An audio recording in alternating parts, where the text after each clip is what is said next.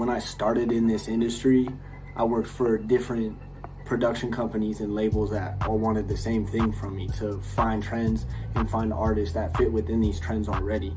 Not only this, but when they did sign anybody, they would just use them for money.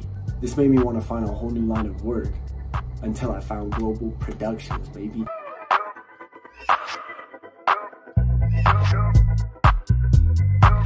We look for artists that don't follow trends but have the right mindset to build their own, and we help them get the check they deserve.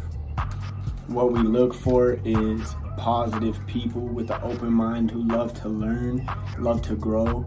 You know, we have resources. If someone is willing to learn, we, we can put them in front of the right people to learn what they need to do. It's important to us to find positive people to sign because this means that they're more optimistic throughout any obstacles that will come up along the way. Um,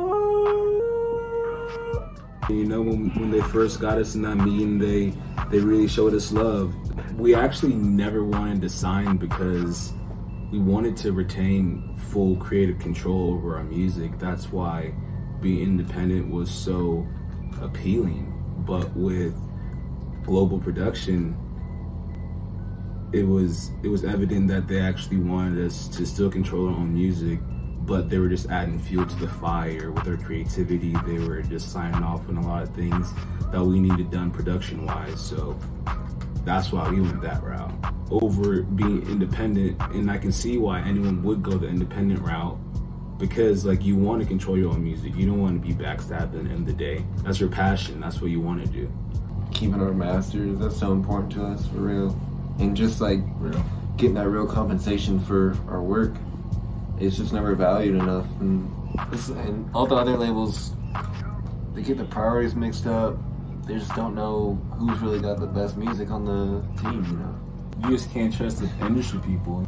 We're taking off we're going global baby.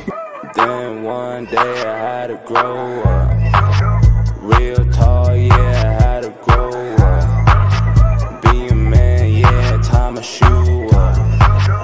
And my pants yeah got a bigger and my pockets yeah they got fatter and i don't wanna be like those guys baby two days close your eyes looking at the stars looking out so far I can see. We're trying to create a new industry, cater towards the artists, and find out what type of art we could get from that. That feeling when that light turn green.